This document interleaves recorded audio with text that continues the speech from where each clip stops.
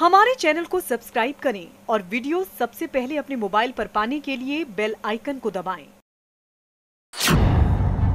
सीतापुर में BJP MLA की बदमाशी ने हदें पार की। गन्ना समिति सचिव को कमरे में बंद करके पिटवाया। किसी तरह जान बचाकर कमरे से बाहर भागे सचिव। सड़क पर प्रदर्शन, एमएलए महेंद्र यादव के खिलाफ रिपोर्ट दर्ज। सीतापुर की सड़कों पर जो आप ये हुजूम देख रहे हैं, ये भाजपा विधायक महेंद्र यादव की गुंडई के खिलाफ है।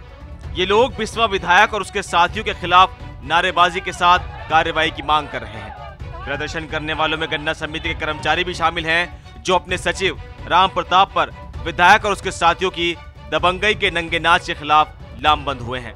इस सीसीटीवी फुटेज में देखिए कि कैसे विधायक के गुर्गे एक अकेले अधिकारी को किस बुरी तरह पीट रहे हैं। ये अधिकारी गन्ना समिति के सचिव राम प्रताप हैं, जो महेंद्र यादव की खुलेआम गुंडई का शिकार बने हैं। सचिव की इतनी गलती थी कि उन्होंने विधायक के समर्थक की नाइट ड्यूटी को लेकर बात नहीं मानी तो गन्ना समिति के दफ्तर आधम के विधायक जी, जहाँ उन्होंने अपने गुर्गों से सचिव को बुलवाया। विधायक महेंद्र यादव के गुर्गे उन्हें मारते हुए विधायक के पास ले जा रहे थे, और विधायक के पास पहुँचते ही विधायक ने भी सचिव को एक के बाद एक दो थप्पड़ रसीद कर दिए और कमरे में बंद करके उनकी पिटाई की। सचिव की शिकायत पर पुलिस ने मामला दर्ज कर लिया है। तीन बजे के लगभग माननीय विधायक जी उनके साथ में नागेंद्र यादव आईडी निकालो और पच्चीस तीस लोग सोसाइटी में आए और माननीय विधायक जी अध्यक्ष जी के कक्ष में बैठ गए और मैं उस समय ज्येष्ठ गन्ना विकास निरीक्षक महोदय के कक्ष में बैठा था। अ, कुछ सूचना बनवा रहा था। उसी दौरान नागेंद्र यादव और 10-15 लोग और आकर के वहाँ आ गए जहाँ मैं काम कर रहा था। वहाँ आने पर उन्होंने घसीटा हमको जब जानकारी हुई माननीय विधायक जी सोसाइटी में आ गए हैं तो मैं उठ करके चल दिया। जब चलने लगा तो पीछे से दो तीन लोगों ने हमला कर दिया।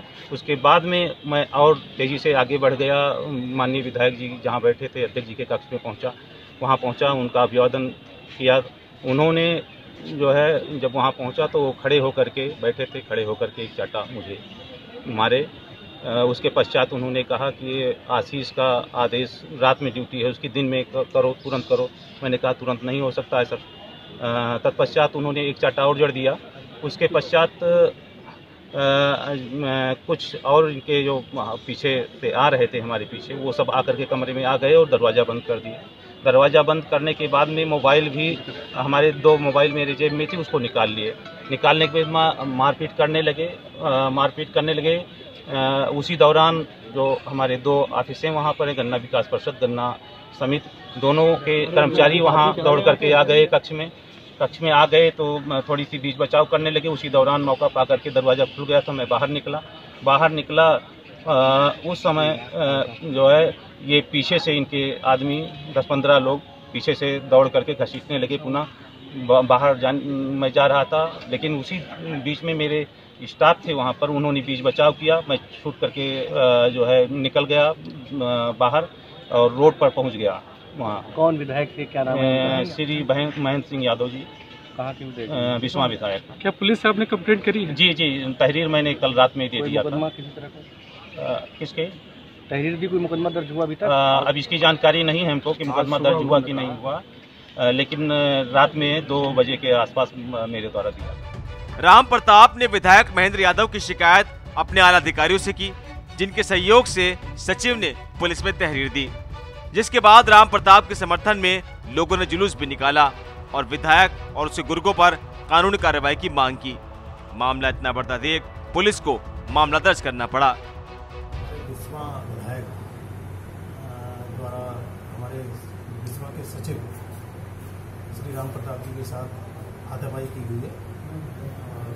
जैसा कि हमारे सचिव साहब ने बताया पहले उनको कमरे से घसीटा गया एस के कमरे से, और चेयरमैन साहब के कमरे में वहाँ ले जाया गया।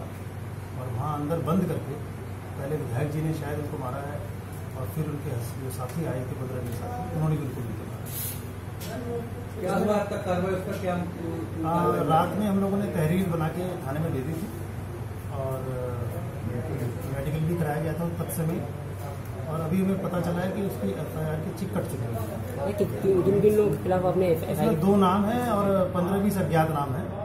तो नाम एक तो विधायक जी का है और दूसरा नागेंद्र यादव है। दो नाम। एफ़ आई आर रजिस्टर्ड हो गई है? एफ़ आई आर रजिस्टर हो चुका गन्ना विभाग के तमाम कर्मचारियों में आक्रोश है। पहले भी ऐसे घटनाएँ में हो चुकी हैं। जी जी। इसको लेके आपने कुछ हाँ आज समस्त कर्मचारी पूरे ज़िले के यहाँ इकट्ठे हुए थे हेडक्वार्टर में। और एक प्रोसेशन निकाल के डीएम साहब तक हम लोग ज्ञापन देके आए हैं। और सभी कर्मचारियों में बड़ा रोष है और उनका ये कहना है कि जब तक गिरफ्तारी नहीं हो जाती है तब तक हम लोग कार्य का बहिष्कार करेंगे। और मेरे द्वारा कर्मचारी को समझाया गया है कि हम लोग एफ़ आई आर करवा चुके हैं और बाकी शासन प्रशासन अभी आगे अपनी कार्रवाई करेगा। तो जब तक आगे कार्रवाई नहीं होती हमारे कर्मचारी काली पट्टी मारते गन्ना सचिव के साथ भाजपा विधायक की दबंगई पे भड़के समिति सदस्यों ने सिटी मजिस्ट्रेट को ज्ञापन भी सौंपा। सिटी मजिस्ट्रेट के मुताबिक विधायक समेत तहरीर में दिए गए लोगों के खिलाफ केस दर्ज कर लिया गया है। एफ़ आई आर दर्ज हो गया है। और इन लोगों की मांग है कि एफ़ आई आर दर्ज किया जाए और दोषी की तत्काल गिरफ्तारी की जाए। और कर्मचारी अधिकारी जितने हैं इनके गन्ना विभाग से संबंधित इनको सुरक्षा प्रदान किया जाए ताकि ये भयमुक्त वातावरण में काम कर सकें। किस पर एफ़ आई आर हुई है? कौन है वो? एफ़ आई आर की कापी अभी प्राप्त नहीं है। उनकी मांग क्या थी? किसके खिलाफ थी? तो बताओ। अब इसमें तो वही माननीय विधायक जी के खिलाफ था और उनके कुछ साथी भाजपा विधायकों को देखकर ऐसा क्यों लगता है कि उन्हें कानून का कोई डर नहीं रह गया है? खुलेआम गुंडागर्दी भाजपा विधायकों का शक्ल बन गया है प्रदेश के हर ज़िले से भाजपा विधायकों की दबंगे की खबरें आती रहती हैं। भाजपा आलाकमान को अब इन पर लगाम लगाने के लिए कोई ठोस कदम उठाना ही चाहिए